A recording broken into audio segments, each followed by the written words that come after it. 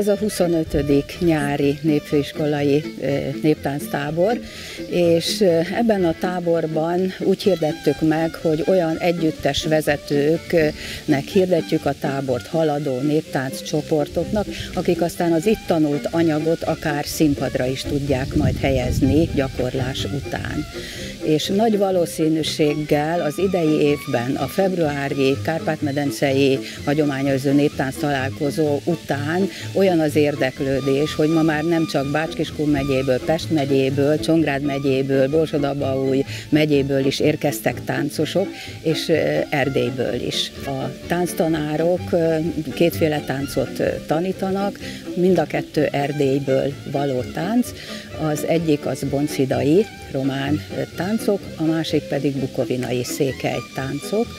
Szombat este egy gálaműsorral fogjuk zárni ezt a hatnapos, nagyon intenzív tábort, mert napi hat órában van foglalkozás, és este pedig nagyon-nagyon jó hangulatú táncház. Mivel van egy kösöntjű néptánc csoportom, és az már 31 éves elmúlt. Tehát amikor ebbe belevágtam, ez a csoport három éve működött, és Balog Ildikó, Fantoli Gyulával kezdtük az első a táborokat, és hűséges vagyok, tehát ők évről évre, mind a 25 évben itt voltak és tanítottak. Úgy gondolkoztam, hogy ahogy egy iskola is nyilván nem egy-két évre tervez, tehát mi is úgy gondoltuk, hogy az a kösöntjű néptánc csoport is meg fog maradni, és évről évre működik, és ez a néptánc tábor is minden nyáron, egy hét intenzív foglalkozás évről évre. Délelőtt, délután van tánctanítás, délelőtt három óra és délután is három óra minden nap, illetve este táncházak vannak, és kétféle táncanyagot tanít két oktatópár.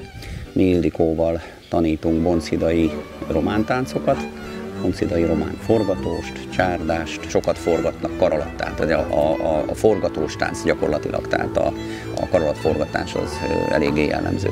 Férfi táncok közül pedig a verbunkot vettük elő.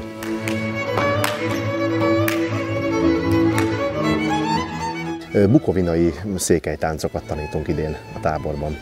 Egy olyan közösséget tart össze ott a völgységben, a bukovinai székelyeknek a, a közösségét, ami mai napig is egy meghatározó elem az identitásuknak.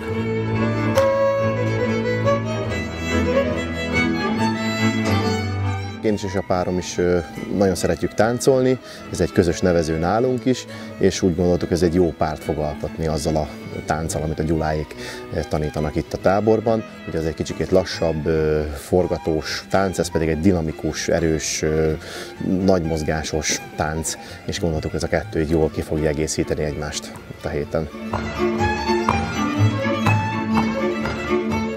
Amikor megkérdették, akkor megkérdeztem, hogy van-e arra lehetőség, hogy mert nálunk négy-öt személy, az 16 éven a Luli még, most ebbe az évbe, hogy elhozhatom-e őket is, mert akkor egy teljes csoporttal jönnénk úgy, ahogyan ők vannak, és akkor azt mondták, hogy lehet, úgyhogy itt vagyunk.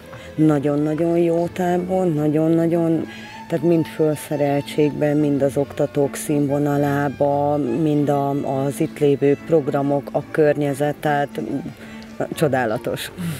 Hát megmondom őszintén, én több száz táborban jártam, de ilyen körülmények között még sehol nem voltam. Felülvigyázni jöttem a gyerekeket, az oktató páros tanítsa nekik a táncot, én, otthon én, én vagyok a, a táncoktató, koreográfusuk, és párom Brassai Mészáros Amanda Blanka, viszont most ide csak felülvigyázni hoztuk a gyerekeket, és megnézni azt az anyagot, amit tanulnak, majd otthon ebből gyúrunk egy finom tésztát.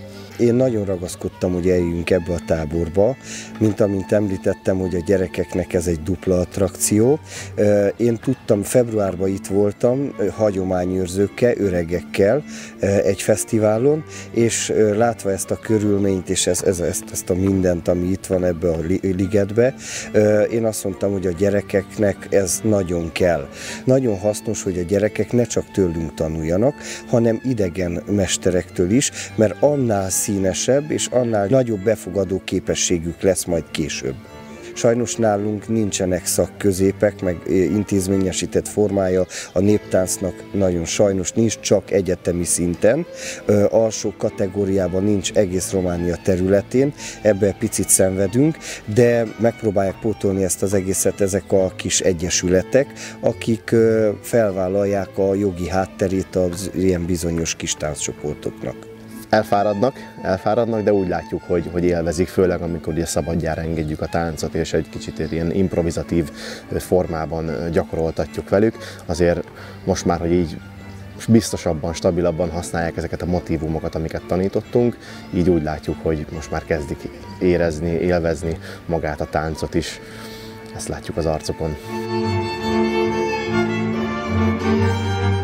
Mikor az ember elképzel valamit ezelőtt 25 évvel, és azt érzi, hogy, hogy az érdeklődés megvan, szívesen jönnek a táncosok. Van olyan táncosom, aki minden egyes néptánctáborban itt volt, ez a Kókai néptánccsoportnak a vezetője, Laszko Tibor, tehát visszajáró, visszajáró tánccsoport vezetőim is vannak, tehát igen, jó érzés. És hát az meg pláne, hogy én is részt veszek ebben a táborban, és hát velük együtt táncolva, lélegezve, beszélgetve, kapcsolatépítéssel, közösségépítéssel egybekötve, ez, ez fantasztikus jó érzés.